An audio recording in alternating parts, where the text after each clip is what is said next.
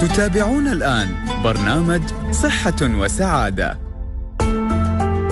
للمشاركة في البرنامج يرجى الاتصال على الرقم 600 55 14 14 أو عبر الرسائل النصية القصيرة اس 4006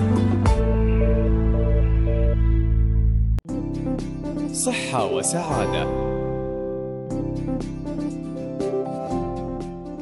مستمعينا الأعزاء صبحكم الله بالخير. حياكم الله ويانا في برنامج صحة وسعادة. برنامج صحة وسعادة تقدم لكم هيئة الصحة بدبي بالتعاون مع مؤسسة دبي للإعلام وعبر أثير إذاعتنا المميزة إذاعة نور دبي.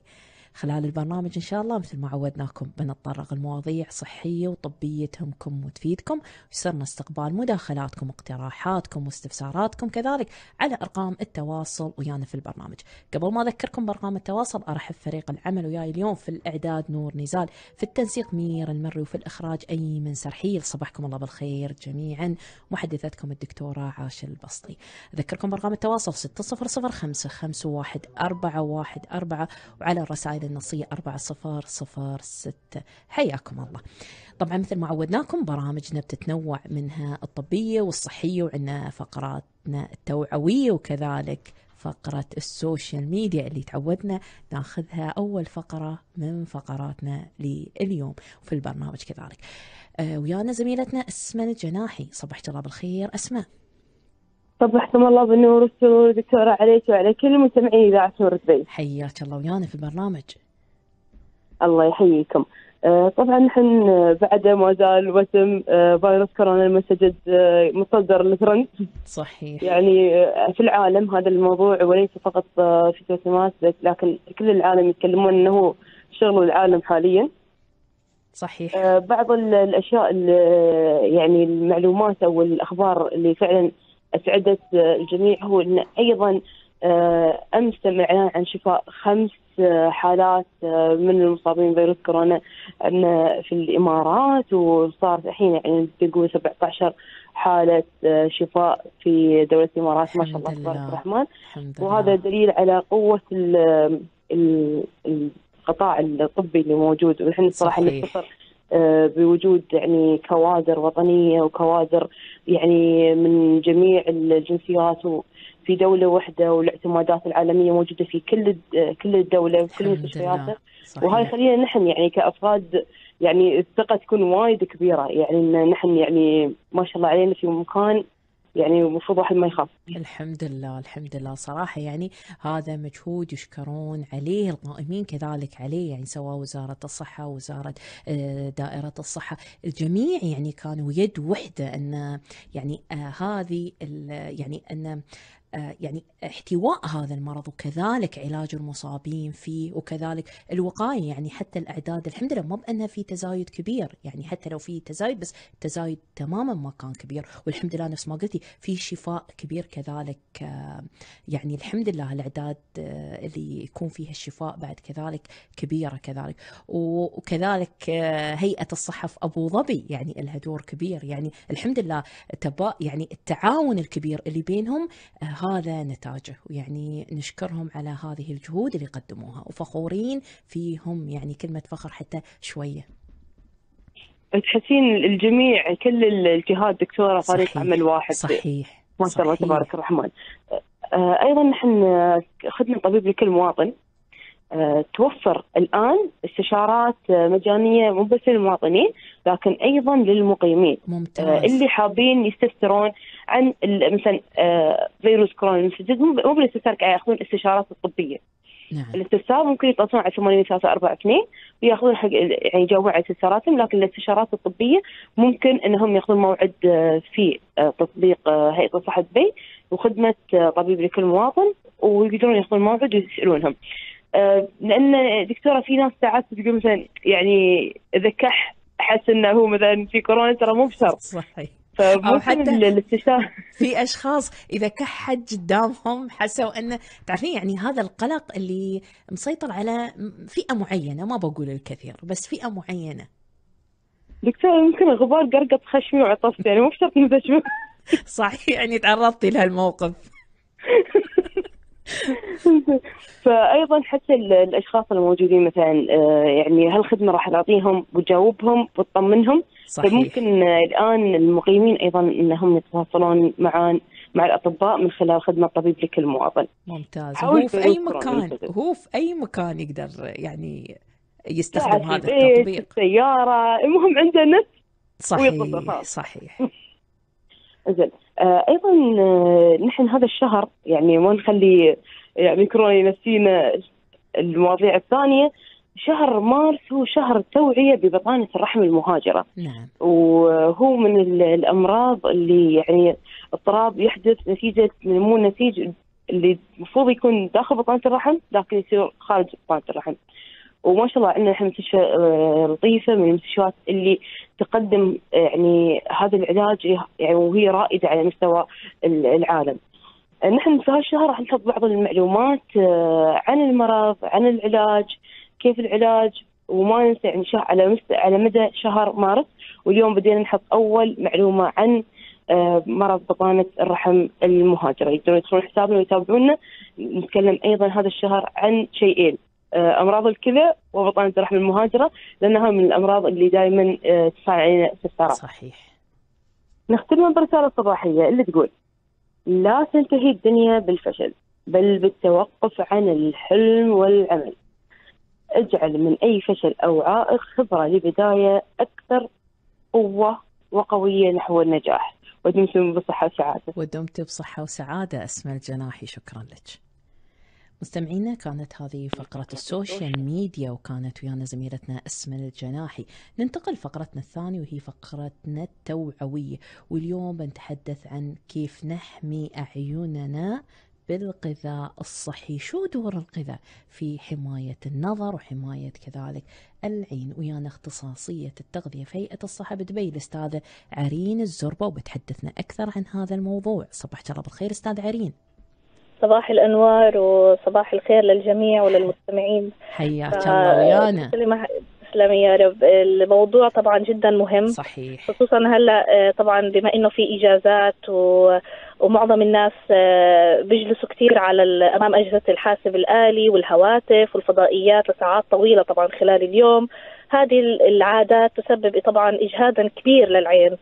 وطبعا لوحظت آخر الآونة الأخيرة أن بعض الأطفال يمكثون نحو ستة أو سبع ساعات متواصل على هذه الأجهزة طبعا مما يصيب العين بالتوتر والإرهاق والضعف والجفاف أيضا صحيح. آه لذلك إحنا بنوصي طبعا آه اتباع طبعا الحميات الغذائية المتوازنة والسليمة امرا اساسيا. لذلك إحنا بنوصي طبعا كبداية طبعا إحنا هنقول شو الأغذية ومعظمنا ممكن نعرف جزء منها المتعارف عليه وإحنا كنا صغار دائما كلوا جزر. بس هو لا هو هي شغلة ما لا تقف عند نوعية الطعام واحدة هي أكثر من نوعية وأكثر من آه، ضرورة بنحتاجها إحنا هلا آه، بنحب نبلش طبعا إنه يوجد طبعا بعض الفيتامينات ومضاد أكسدة صحيح. التي تقوم طبعا بدور جيد في الحفاظ على البصر ومنها الفيتامين ألف وال beta carotene هلا يمكن تسألون ليش طيب شو معنى هالفيتامينين؟ لأنه أي نقص في هذا الفيتامينات يؤثر بقوة في إحدى الصبغات الضرورية للرؤية أثناء الليل أو في الأضواء الضعيفة. لذلك طبعا نوصي تناول الأطعمة التي تحتوي على هذول على هذول النوعين الفيتامين اللي هي فيتامين ألف وال beta carotene المتواجدة في الجزر في صفار البيض الفلفل الأصفر البطاطس إضافة إلى الخضروات. وأيضا الزبدة زيت كبد السمك والبنجر والكسى وأيضا في كثير آه، أنواع أخرى بس هدول اللي إحنا ذكرناهم فيها الكميات عالية بهدول النوعين من الفيتامينات. أيضا الأوميجا 3 نعم. التي تعتبر طبعا من ضمن الدهون الصحية الضرورية والهامة جدا لصحة الشبكية تاعت العين كما أنها تمنع الإصابة بجفاف العين. ونحن بنعرف إنه الأوميجا 3 آه، تعد طبعا الأسماك من أح أح يعني من أهم المصادر الأوميجا 3 مثل السردين ولحم التونة والمحار. صحيح. طبعا بحب أضيف على آه، شغلتين مهمين كمان من ضمن الموضوع إنه يساعد فيتامين جيم على وقاية من مشاكل واضطرابات العين طبعا آه، وين موجود الفيتامين جيم هو طبعا موجود في التوت والبرتقال وأيضا الخضروات ذات الورق الأخضر مثل الملفوف الخس الجرجير الفجل والكزبرة. وأيضا من ضمن هدول في عنا نوع عنصر معدني جدا مهم ممكن الناس تكون نسيته أو ما بتركز عليه كثير اللي هو الزنك. الزنك هو من أهم العناصر للحفاظ على صحة العين. شو السبب؟ لأنه يساعد في إنتاج الميلانين. طبعا الميلانين هي مادة ضرورية لحماية العين من الضرر التلف ويقلل طبعا من فرص حدوث مشكلة ضمور البقعي هذا طبعا بيصير مع آه، التقدم بالسن. نعم. ويتوفر هذا العنصر المعدني في المكسرات مثل الفستق اللوز والبندق وعين الجمل والكاجو وأيضا اللحوم الحمراء وسرطان البحر والجمبري والسردين والسلمون. ونفس الشيء في بعض الخضروات وأهمها الأوراق الخضراء. ممتاز. طبعا هدول أهم العناصر اللي إحنا حكينا عنهم بس بحب إنه اختمها بشغلة بسيطة إنه كمان تقدري تحافظي على أو تحافظ على آه، صحة عينيك طبعا بشوية تعديلات ممكن أنت تضيفها على حياتك اليومية اولا زيارة طبيب العيون ممكن صحيح. مرة أو مرتين في السنة ارتداء آه، اللي هي النظارات الشمسية عند الخروج الابتعاد عن التدخين الحفاظ على وزن صحي وأيضا ارتداء واقي للعيون عند ممارسة أي نوع من الرياضات العنيفة بعض الشيء أو عند إجراء التجارب العلمية. وأخيرا وليس اخرا الحفاظ على ضغط الدم لأنه ضغط الدم آه، له تأثير طبعا بالجسم كامل ولكن آه، تأثيره أكثر للعينين أكثر لأنه حساسين العينين وخلينا نقول العروق اللي موجودة في العينين جدا حساسة لموضوع آه، ارتفاع ضغط الدم. فبنحاول طبعا نحافظ على هذا الإشي وإن شاء الله هيك دمتم في صحة وسعادة إن شاء الله على خير. ودمتي بصحة وسعادة الأستاذة عرين الزربة أخصائية التغذية في هيئة الصحة بدبي شكرا لك. مستمعينا كانت هذه فقرتنا التوعوية وتحدثنا عن كيف كيف تحمي عينيك بالغذاء الصحي. بنطلع فاصل إن شاء الله وراجعي لكم فقراتنا المستمرة. خلكم ويانا. صحة وسعادة.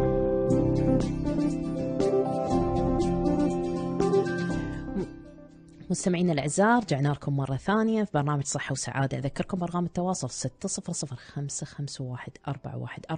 والرسائل النصية على 4006 حياكم الله ويانا. في فقرتنا الحين بنتحدث عن الخدمات المقدمة للنساء وتحضيرات ما قبل الحمل وبعد الولادة. طبعا هذه يعني خلال هذه الفترة وخاصة للنساء سواء فترة قبل الحمل وسواء فترة كذلك الحمل وبعد الولادة.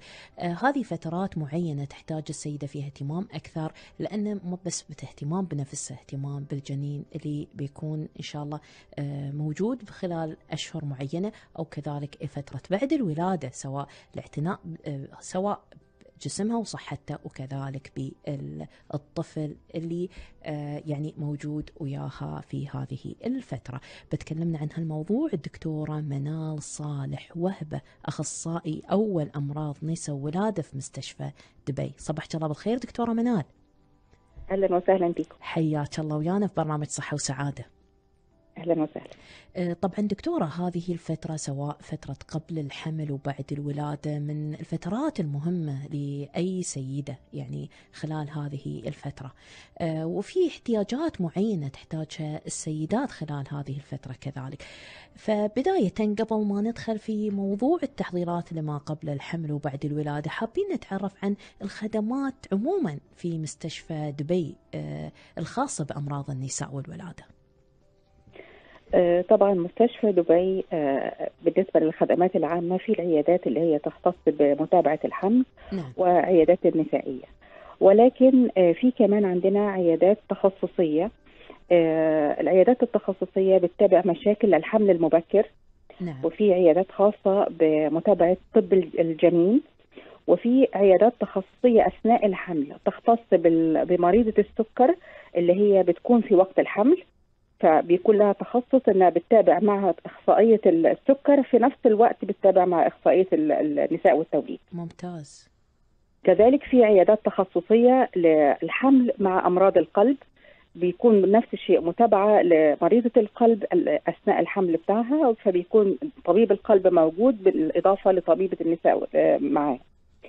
في عيادات أخرى تختص بتشوهات القلب الجنين برضو بتكون متاحة عندنا نعم. في أخرى عيادات لتشخيص أسباب تأخر الحمل في المرأة نعم.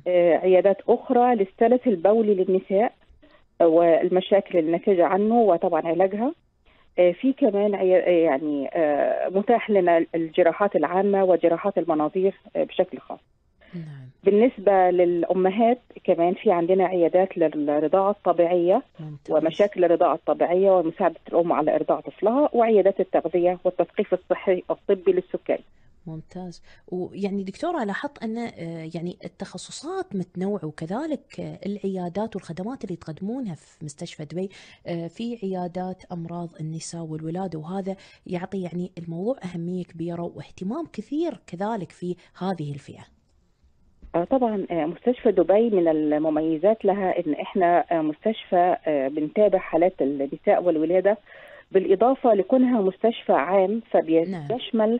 وجود التخصصات الأخرى يعني زي صحيح. تخصصات الكلى تخصصات القلب تخصصات الأمراض الدم كلها آه، بتكون آه، موجودة معانا فالحالات اللي بتستدعي آه، أخذ النصيحة منهم بتحول للمستشفى دبي صحيح من جميع المناطق الدولة يعني عموما ممتاز.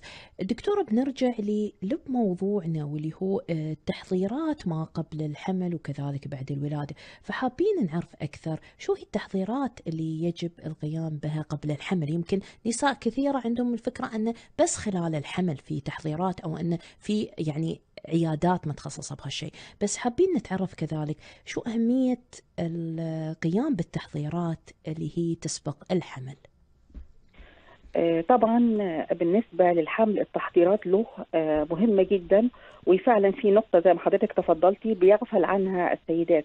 صحيح. أهمها إذا كانت السيدة مثلا على تطعيم بتاخد تطعيمات للهيباتيتس اللي هو التهاب الكبد الوبائي اللي هو نعم. بيتاخد على مراحل معينة أو التهابات مثلا ال HPV للبنات. لازم تكون تم استيفاء التطعيمات دي وخلصت الجرعات بتاعتها تماما قبل ما تفكر إنها تحمل عشان تبقى ready لل... لل... وجاهزه للحمل. صحيح. تاني حاجة آه السيدة اللي بيكون عندها وزن زائد وبتفكر إنها آه تنزل وزنها عشان طبعا مشاكل السمنة مع الحمل كثيرة صحيح. فتبدأ آه تقدم الحمية الغذائية والرياضة وما إلى ذلك وتضبط وزنها قبل ما تقدم على الحمل. طبعا ده بيساعد كتير جدا في إنها يكون حملها صحي وسلس. صحيح. آه كذلك آه ودي نقطة هامة جدا لمريضات السكر. مريضة السكر المفروض إنها قبل الحمل بتكون مع طبيب السكر. بتظبط السكر آه، قياس السكر في الدم عندها لأنه مش بس ضبط السكر أثناء الحمل لا البويضة اللي بيتم تلقيحها لازم تخرج في جو وفي قياس سكر في الدم يكون القياس سليم عشان تكون البويضة نفسها سليمة وبعدين في أول الفترة الأولى من الحمل اللي هي أول ثلاث شهور في الحمل نعم. وما يسبقها اللي هي الأسبوعين اللي هي الست بتبقى حامل وهي مش عارفة إنها حامل لازم يكون السكر مظبوط عشان دي فترة تكوين أجهزة الجنين آه، صحيح. مهم جدا للأم إنها تاخد الفوليك أسيد من ما قبل الحمل وليس فقط في بداية الحمل. صحيح من ما قبل الحمل. جدا مهمة من قبل الحمل. من قبل الحمل لأنه الفوليك أسيد بيساعد في تكوين الجهاز العصبي للجنين. فعشان إن شاء الله نتجنب أي مشاكل وتشوهات في الجنين بننصح الأم إنها تاخد ال folic acid. دكتورة قبل آه بكم يعني طبعا. يعني قبل بكم يعني تقدر الأم يعني تاخذه؟ خاصة الحين معظم النساء عندهم تخطيط للحمل قبله يعني ما بأن يعني معظمهم يخططون يعني خلال هاي السنة إن شاء الله بحمل يعني يعني خلال الكم شهر اللي يسبق الحمل شهرين ثلاثة. نعم. ولكن في حالات إحنا بنعمل عليها شوية highlighting آه بنحاول اللي هي حالات الأم اللي بتكون مصابة بنوبات صرع طبعا الأم دي بتكون بتاخد أدوية للصرع ففي الحالات دي بتاخد ال folic acid ولكن الجرعة بتكون أعلى لأن الأدوية بتاعتها بتستهلك يعني صحيح. أو هي بتكون محتاجة إن الطفل بتاعها يكون آه، آه، محمي أكتر. صحيح. فإذا كانت هتاخد 400 ملي مايكروجرام للأم العادية فهي هتاخد 5 ملي جرام okay 5 جرام لل folic acid. نعم. آه كمان الأم لو عندها آه التهابات مهبلية يجب أن تعالج. نعم. الأم اللي عندها فقر دم لازم ترفع نسبة الهيموجلوبين عندها عشان أكيد الطفل بيحتاج إن هو آه يستهلك منها الحديد. صحيح. وكذلك آه طبعا الولادة بتسبب فقدان دم سواء كانت ولادة طبيعية أو ولادة قيصرية. فحتى لا نلجأ في أي وقت من الأوقات لأنها نديها حديد بالوريد أو إن إحنا لا قدر الله ننقل دم لها. نعم. يبقى أحسن تدخل الولادة وهي مهيئة بنسبة هيموجلوبين يعني سليمة. صحيح. طبعا لا تقل عن 11 صحيح. دكتورة هذه تكلمنا عن التحضيرات اللي هي قبل الحمل. فالحين فترة بعد الحمل يعني خاصة أنه مو بس الأم الأم وجنينها كذلك اللي هو بعد الولادة. فحابين نتعرف أكثر عن التحضيرات اللي يجب القيام بها بعد الولادة. هي الأم مجرد ما بتولد نعم. بتقعد على حسب الولادة بتاعتها. إذا كانت قيصرية بتقعد في حدود ثلاث أيام في المستشفى. إذا كانت الولادة طبيعية ممكن من ثاني يوم على طول نحن يعني وأمورها طيبة بتروح البيت. عادة الولادة بيكون لها إذا كانت طبيعية كثير منها بيحصل تمزقات في في عضلات المهبل. صحيح. أثناء الولادة كأي مضاعفات أخرى. دي الأم لازم وقت هي ما بتكون عندنا في المستشفى بتكون متابعة بدرجة الحرارة بالضغط بتاعها بكمية الدم النفاس اللي إحنا بنشوفها بنشوف برضو الجرح بتاعها طبيعي أو لأ.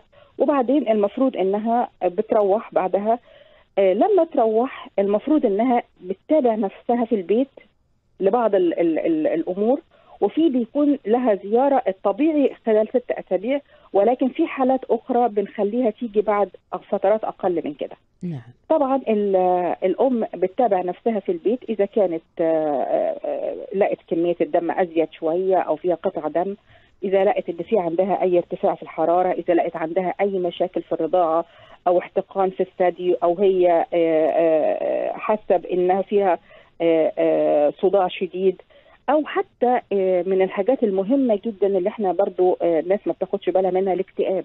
صحيح. يعني أحيانا الأم بتبقى عندها رغبة في الانعزال شوية. لو هو الأمور بسيطة ممكن إن إحنا يعني خلال أسبوع أو أسبوعين ماشي الحال. ولكن لو تطور الأمر أكتر من كده لازم مراجعة الطبيب فورا لأن دي في حاجة معروفة جدا اسمها اكتئاب ما بعد الولادة. صحيح. فاحنا عادة كمان حسب كل مريضة يعني لو المريضة مريضة سكر بنطلب منها إنها تتابع السكر بتاعها بالجهاز في البيت وإذا في أي وقت لقت إن سكرها عالي لازم تراجع المستشفى صحيح. كذلك مريضة الضغط بندي لها مؤشرات اللي هي ممكن تحس بيها لو ضغطها ارتفع في أي وقت وإنها برضو تراجع المستشفى بيها. خاصة أن الأدوية دكتورة يعني في أدوية معينة تتغير في فترة الحمل فبعد الحمل يمكن ترجع الأدوية السابقة فتحتاج ما قلتي هالنقطة جدا مهمة أن متابعة يعني سواء السكر سواء ارتفاع ضغط الدم يعني متابعته كذلك بعد الولادة. تمام. ومن الحاجات المهمة جدا برضو وإن إحنا عادة ما بعد الولادة بتكون الأم في نسبة معينة عرضة لجلطات الساق. نعم. دي من الحاجات اللي إحنا عادة بندي إبر مسيلة وبنفهم المريضة ليه هي بتاخدها سواء في بعض السيدات بتكون محتاجاها أثناء الحمل وفي سيدات كمان بي يعني بي بنكمل معاها لبعد الحمل. أحيانا لمدة 10 أيام لأسبوعين وأحيانا في بعض الحالات لمدة 6 ستة أسابيع. صحيح. بنقول لها للسيدة بنشرح لها إنه لو حست بأي ألم في ساق سواء ساق واحدة أو في الاثنين مع انتفاخ إنها لازم ترجع فورا للمستشفى والطوارئ طبعا بتبقى مفتوحة 24 ساعة لاستقبال المريضة في أي وقت لو حست مثلا كمان بأي صداع مصاحب بحست بعدم قدرة على التنفس بطريقة سليمة لأنه أحيانا لا قدر الله الجلطات دي ممكن قد تصل إلى الرئة وبتعمل لنا مشاكل صحيح. ففي حاجات معينة لما بعد الولادة مهمة جدا على المريضة إنها بتلاحظها وإحنا بنديها تعليمات وبنديها شرح مفصل وهي مروحة إلى أي شيء إنها تراجعنا على طول. صحيح. أما الزيارة الرسمية لها خلال ستة أسابيع. خلال ستة أسابيع. أه نتمنى لكم كل التوفيق دكتورة منال صالح وهبة شكرا لك. أهلا وسهلا بكم ونتمنى لمرضتنا جميعا السلامة. إن شاء الله. الدكتور منا دكتوره منال صالح وهبة أخصائي أول أمراض نساء وولاده بمستشفى دبي شكرا لك. مستمعينا كانت هذه فقرتنا وتحدثنا فيها عن الخدمات المقدمة للنساء والتحضيرات سواء ما قبل الحمل وكذلك بعد الولادة. وما قصرت الدكتورة منال شرحت لنا بالتفصيل هذه التحضيرات وأهميتها وكذلك تطرقنا إلى خدمات أمراض النساء والولادة في مستشفى دبي. بنطلع فاصل وراجعي لكم خلكم ويانا. بعد الفاصل إن شاء الله بن نتطرق الموضوع خدمات قسم الكلى في مستشفى دبي. خلكم ويانا. صحة وسعادة. مستمعينا الأعزاء حياكم الله ويانا في برنامج صحة وسعادة. أذكركم برقم التواصل 600 ورسائل النصية على 4006 حياكم الله. في فقرتنا الحين بنتحدث عن خدمات قسم الكلى في مستشفى دبي وبتكون ويانا اليوم الدكتورة سيما نجاد أخصائي أول أمراض الكلى بمستشفى دبي. صبحك الله بالخير دكتورة سيما. الله يصبحك بالنور. حياك الله. ويانا في برنامج صحة وسعادة. الله يحييك حبيبتي. آه معكم دكتورة سيما عبد الله العوضي أخصائي أول قسم الكلى في دائرة الصحة مستشفى دبي آه أهلا وسهلا فيكم. آه اخترنا لكم أن نتكلم عن أمراض الكلى اليوم لأن باكر بيصادف يوم العالمي حق الكلى. يوم العالمي حق الكلى يصادف دائما ثاني خميس كل سنة. العالم كله تحتفل فيه. ويكون في حملات توعوية عشان المجتمع كامل عشان تجنب أمراض الكلى وتوقف توقف أمراض الكلى آه، يعني دائما يكون في حملات أيوه فإحنا من خلال قسم الكلى في مستشفى دبي آه،. عندنا خدمات شاملة للمواطنين والمقيمين في نعم. دبي عندنا قسم الكلى اللي هو تقريبا يخدم 250 مريض آه، في مستشفى دبي عن طريق الغسيل الدموي. آه، تقريبا عندنا 250 مريض. آه، يوميا يكون في بين 120 و 130 غسلة في اليوم. المريض آه، المريض الغسيل تقريبا مرتين ثلاث مرات في الأسبوع. كل تقريبا جلسة تكون أربع ساعات في اليوم. ويعني هاي حسب المريض حسب احتياجه. أحيانا حتى تكون أربع مرات حسب احتياج المريض. هاي الغسيل الدموي آه، إحنا نعم. نشتغل تقريبا ست ساعات ست أيام في الأسبوع آه، من الساعة 7 الصبح لين الساعة 11 ونص 12 بالليل.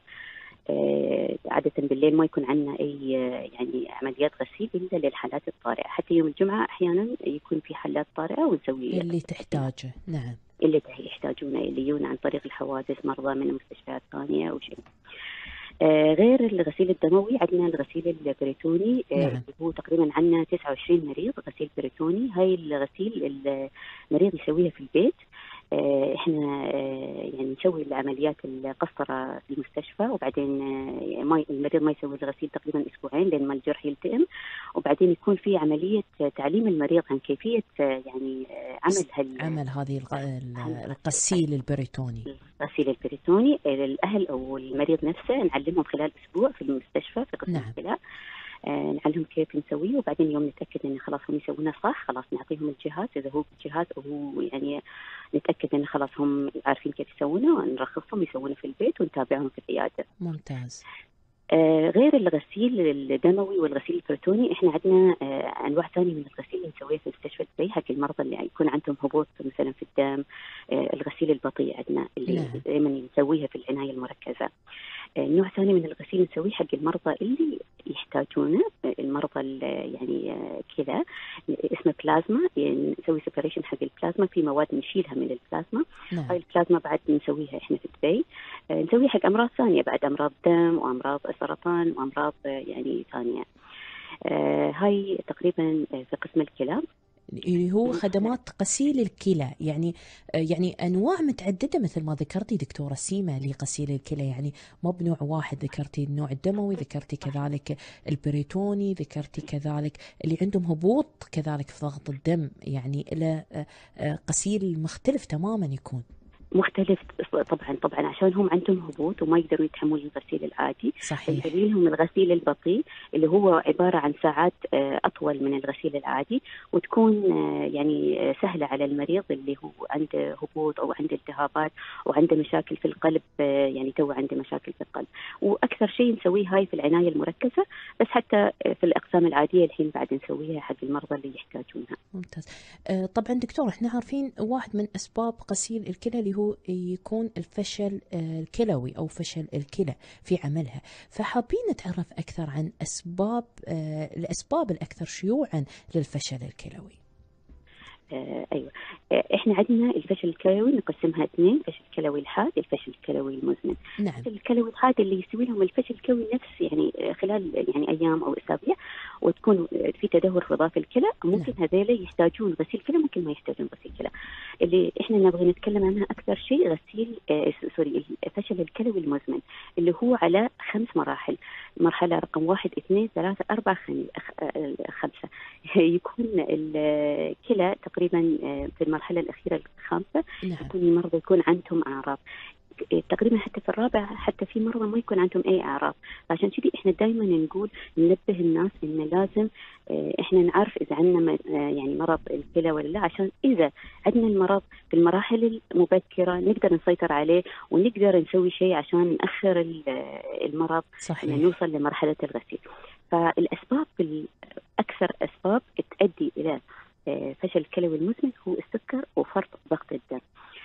طبعا آه، السكر هو إحنا يوم سوينا يعني سوينا يعني دراسات شفنا إن السكر هنا أكثر شيء يؤدي إلى الفشل الكلوي المزمن. وضغط الدم في بعد التهابات الكبيبات اللي هو نشخصها عن طريق عينة الكلى ممكن هاي بعد تؤدي إلى فشل الكلوي ممكن التهابات الميكروبية المزمنة اللي الناس يكون عندهم انسدادات في المجرى البولي. بعد هذا يسوي آه، فشل كلوي آه، خصوصا الناس اللي يكون عندهم بروستاتا. نعم. الاشياء الثانية اللي ممكن أمراض وراثية آه، من الأطفال التهابات عندهم عن عندنا مثلا تكيس الكلى تكيس الكلى بعد مرض وراثي يؤدي إلى تقريبا فشل كلوي تام في المرضى استخدام المسكنات بصورة مستمرة ممكن بعد تسوي فشل كلوي فهاي الأسباب يعني معروفه الأكثر شيوعا تكون. أكثر شيوعا. الأمراض الجهاز المناعي مثل الذئبه الحمراء ممكن يستوي لهم التهابات في الكبيبات وتؤدي إلى يعني آه، الفشل الكلوي. طبعا أكثر شيء مثل ما قلنا ضغط الدم والسكري. آه، دكتورة طبعا الواحد كيف يحمي نفسه بخصوص الفشل الكلوي؟ إحنا عارفين الوقاية خير من العلاج.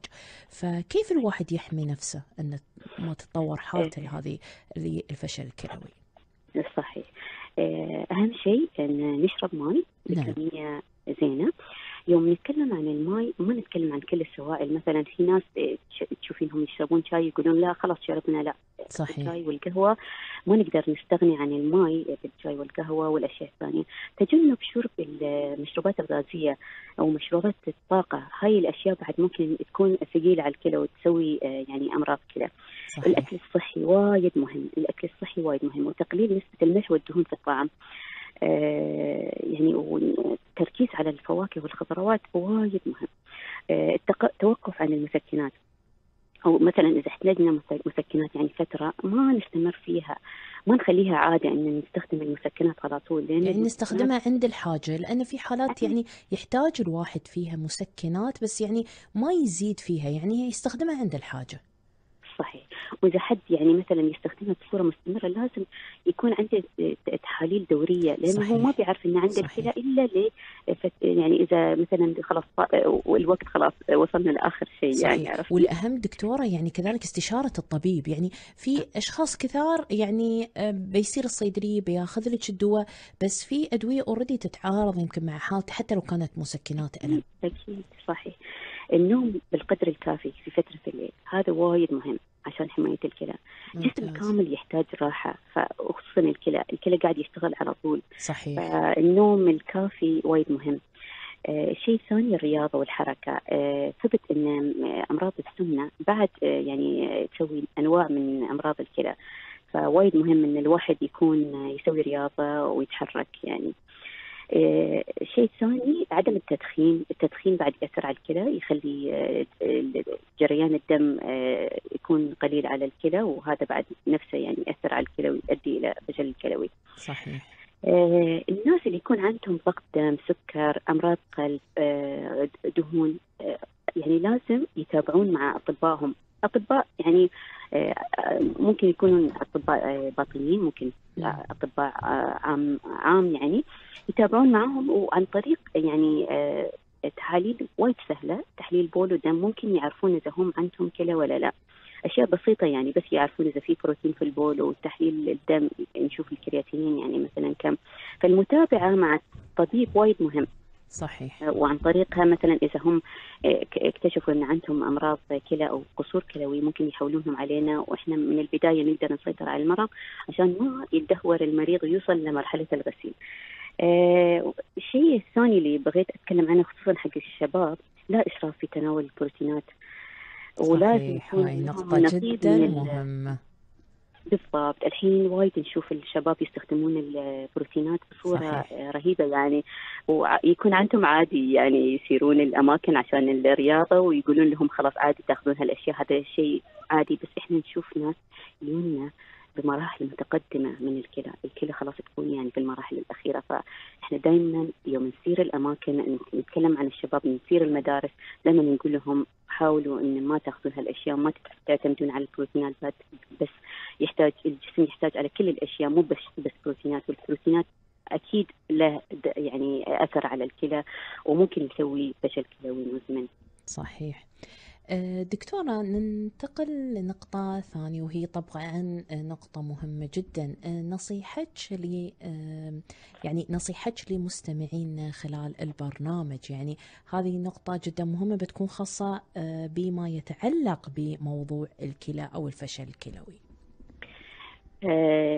النصيحة مثل ما تكلمنا عن كل الأشياء اللي إحنا نحمي فيه الكلى مالنا نعم. نشرب ماي زين نتجنب الأشياء اللي تضر الكلى مثل الأدوية مثل ما تكلمنا صحيح. مثل الأكلات السريعة مثل المشروبات الغازية.